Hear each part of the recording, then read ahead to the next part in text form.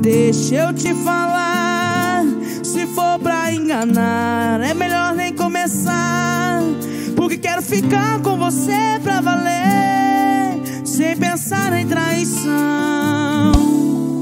Eu sou do tipo que não leva desaforo pra casa, não suporto pirraça, muito menos ser enganada, porque tudo isso eu já vivi. Não quero mais pra mim.